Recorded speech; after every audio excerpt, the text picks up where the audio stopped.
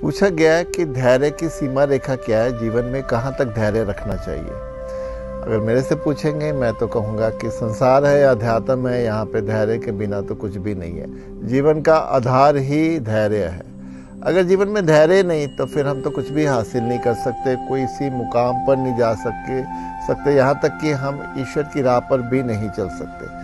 अब मान लो हम किसी काम को टारगेट लेके एक धैर्य रख के चल रहे हैं, अपनी मेहनत कर रहे हैं, सब कुछ कर रहे हैं एफर्ट्स लगा रहे हैं, और अगर हम धैर्य छोड़ देते हैं, उसके बाद भी हमें क्या हासिल होगा? हमारे पास तो कोई ऑप्शन ही नहीं है धैर्य रखने के सिवा। और धैर्य जब हम रख के चलते हैं तो हम एक केंद्रित रहते हैं। हम अपने आप में एक सेटल रहते हैं। अगर हम वो धैर्य का देखें, बाहरी संसार में तो धैर्य रखते हैं, लेकिन हमें भीतरी संसार में उसका कितना बेनिफिट मिलता है। हम कितने भीतर एक सुकून से रहते, एक शांति से, एक आनंद, खुशी, ये सब धैर्य से ही आती है।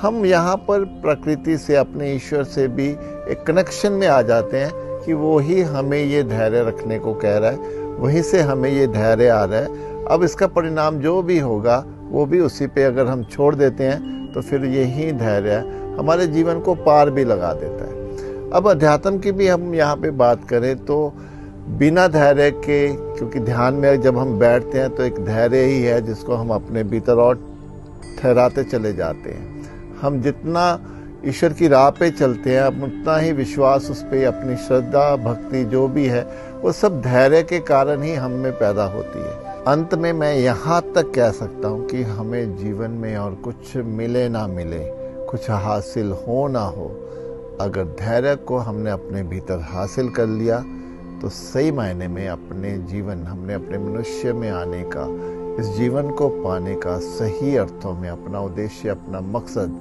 ये सब पा लिया।